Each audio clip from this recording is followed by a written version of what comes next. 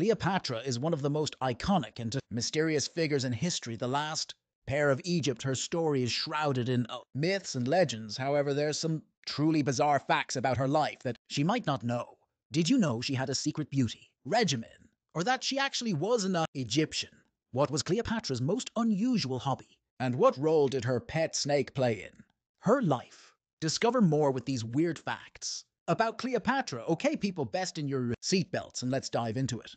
Number 12, Cleopatra was an Egyptian. Both King Tut and Cleopatra would likely come to mind if someone asked you to. Name an ancient Egyptian these two. Historical personalities are often thought of as representing ancient Egypt, since they were gilded, eyelinered, and walked around their lavish palaces with their hands at 90 degree angles, just like the Bangles song from the 80s. The weird part is one of those two wasn't even Egyptian. Cleopatra belonged to the Ptolemaic dynasty, which was descended from Ptolemy. The first, the commander of Alexander the Great, according to the history of Macedonia, that implies that they not only had Greek origin, but also spoken, practice Greek culture. After Ptolemy the first assumed control of Egypt after Alexander's, passing in 32 3 BC, the Ptolemies governed Egypt for 300 years, therefore, how did a group of men from another continent end up in control of Egypt. Well, they took control of it as the ancient Greeks frequently did when they were bored. The good news is that the Persians, who were the conquerors, who came before the Alexandrian conquerors, had worn Egyptians down to the point that they were basically cool with their non Egyptian monarch. Number 11, there was some creepy delivering stuff in Cleopatra's. Background To preserve their royal bloodline, Osiris married Isis's sister, Genetic problems probably didn't bother the gods. Unfortunately for the Egyptian pharaohs, who looked up to the Egyptian gods, hereditary abnormalities were a concern. For mortals, when Ptolemy took power, they thought incest sounds terrific. A few hundred years later, Cleopatra was a genetic soup of Ptolemies who married Ptolemies and were descended from them. Ptolemy the seventh father Cleopatra. The biography speculates that her mother was either her father's sister or her uncle's cousin's mother's sister's niece. Wrap your mind around that. Cleopatra married both of her younger brothers in their huge noble family. Custom. Yeah. Number 10. Cleopatra was smarter than she, was beautiful. Cleopatra was wonderfully gorgeous in a most modern and semi modern depictions, which seems incongruous with generations of incest, but maybe it was a fluke. In February 2007, a Cleopatra coin was found confirming her plain appearance. Ancient historians didn't mention her beauty, suggesting she wasn't Elizabeth Taylor, but it doesn't matter in 75 AD. Plutarch wrote her beauty was not so great that no one could compare with her, yet her presence was captivating her. Presence was enchanting according to ancient origins. Cleopatra was a cunning diplomat and a student of mathematics, medicine, alchemy, economics, history geography, and pretty much every general education course he hated in college, she spoke nine languages, surpassing all. White House leaders. Franklin Roosevelt, elected in 1932, spoke French and German. Cleopatra spoke the languages of most of her neighbors, including Arabs, Jews, Parthians, Syrians, Ethiopians, Medes, and troglodytes. She was the only member of the Ptolemaic dynasty to study Egyptian. Before her rule, Ptolemy didn't care about Egyptian culture or religion, and largely lived in Alexandria, which was like ancient Egypt's Chinatown, albeit.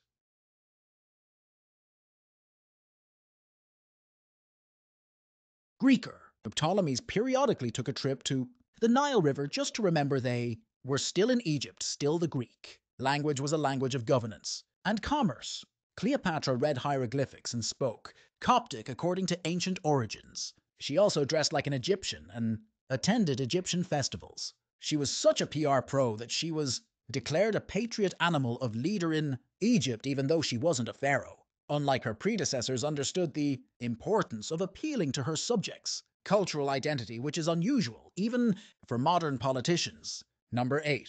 Cleopatra killed three of her siblings, including the two she was married to. But since incest is never enough, let's get back to it. Pharaohs ruled in pairs. In Egypt, Cleopatra governed briefly with her father Ptolemy VII until he died in 51 BC according to Live Science and his Will Ptolemy VII ordered Cleopatra to marry her 11 year old brother, which was presumably just a ceremony. Still, the two were plainly not fond of each other. The relationship ended with Ptolemy VII seeking to seize the kingdom, and his sister asking Julius Caesar for a helping hand. Caesar and Cleopatra famously became lovers and Ptolemy VII never liked. Caesar's decision to govern with his sister Ptolemy drowned trying to escape. Caesar during the Battle of the Nile. Cleopatra only partially killed that brother. But there's more. Cleopatra married her older brother, who died mysteriously because of the must have a co-regent thing. Cleopatra probably poisoned him, she then executed her sister Arsinoe, who supported Ptolemy, the family strife, and declared herself Queen Cleopatra's. Qualities include fratricide, but hey, who's counting? Number 7. Cleopatra's famous eye. Makeup was actually supposed to ward off eye infections. Cleopatra's signature eye makeup black, kohl that lined the eyes, and sometimes spiraled down the face as seen in most depictions. The New York Times said that kohl was produced from four lead-based components to prevent eye infections, not beautify when the Nile overflowed it. Stirred up marshy fills that got into people's eyes, causing discomfort. Lead-based cosmetics prevented the infections by killing the microorganisms. That caused them still lead poisoning. Probably outweighed that benefit. Most Egyptians thought kohl was magic, but Cleopatra was smart either way it. Seems scary to line your eyes with lead-based metals however ancient. Egyptians also like to take the brains out of dead bodies with an iron hook and put their intestines in jars, so lead based diet cosmetics aren't really unusual. Number 6. Cleopatra and Mark Antony had their own drinking club.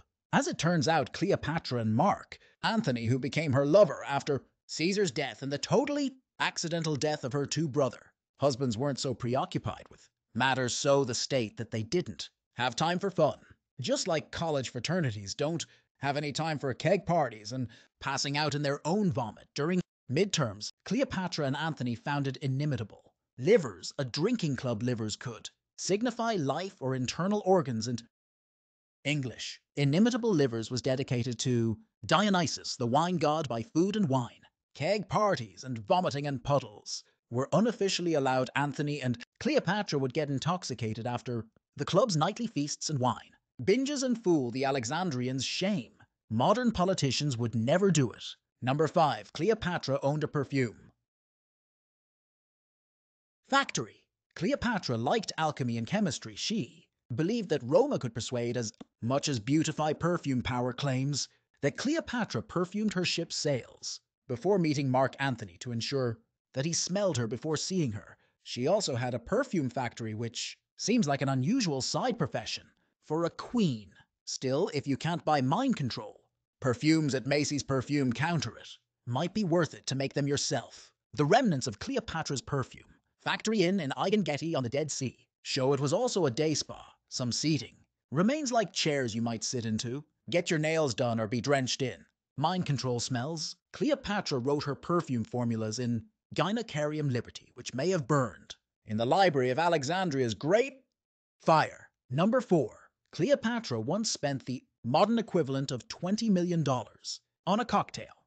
Cleopatra bit Mark Antony that she could spend 10 million sesterces on a supper, which would be 10 to 20 million. Today, after eating a simple lunch, she asked her servants for vinegar according. To NBC, she removed one of her earrings, removed the pearl, dropped it in the vinegar, and watched it dissolve. She then drank the cup of vinegar, indicating that she would do anything to win a wager. Who knows how much Pliny the Elder was?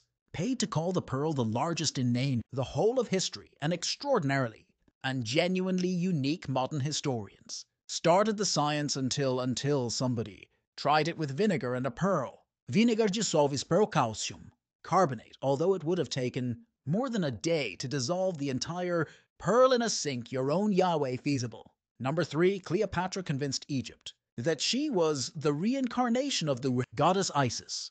Cleopatra declared herself as a new Isis, assuring her citizens she was the goddess's reincarnation. Mark Antony likewise claimed to be Osiris on earth. Remember the Isis Osiris marriage voila.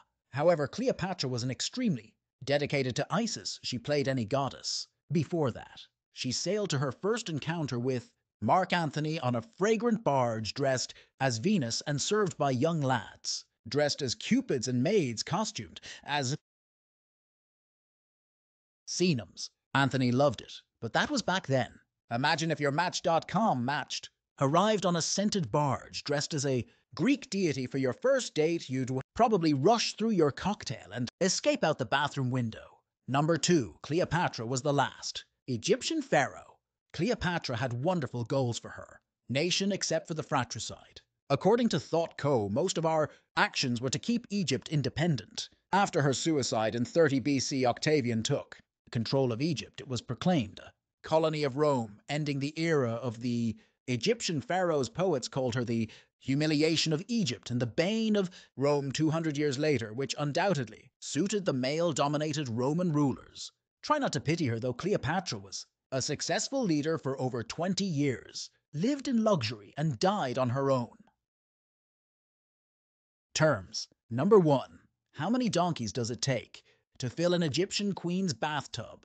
Like pretty much every human being, Cleopatra had an innate desire to avoid getting older, unfortunately plastic. Surgeons were in short supply in the first century BC Egypt, and Botox wouldn't be invented for another couple of millennia. But it's good to be queen, because a queen can pursue ridiculously elaborate beauty regimes that aren't available to the average person, in fact. Cleopatra's favorite spot treatment was something that most modern American billionaires would have a hard time pulling off once, never mind every morning. According to legend Cleopatra's Daily, Bets required a tub of 700 lactating.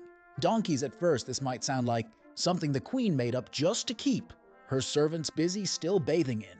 Donkey milk was actually not just some crazy Cleopatrasm. Hope you enjoyed the video and please leave your thoughts in the comments. Below if you enjoyed this video be sure to like, subscribe, and turn on those notifications before leaving. Thanks for watching, and we'll see you in the next one.